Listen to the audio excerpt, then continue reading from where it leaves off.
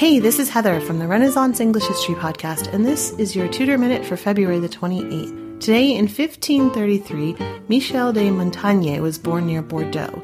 He was a leading philosopher, humanist, and developed the literary form that we now call an essay. He was an admirer of Lucretius, Virgil, Plutarch, and Socrates, and he began his main work, Essays, in 1571 at the age of 38 when he retired to his castle in Bordeaux.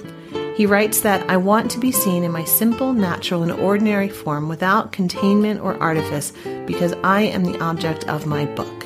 His project was to show himself without masks, to show himself in the most intimate of ways. He continued to work on the essays until his death in 1592 in his castle.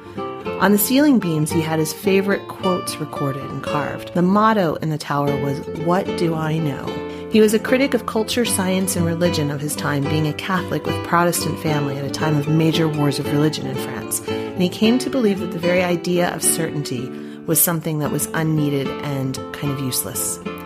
That's your Tudor minute for today. Remember, you can dive deeper into life in 16th century England through the Renaissance English History podcast at englandcast.com.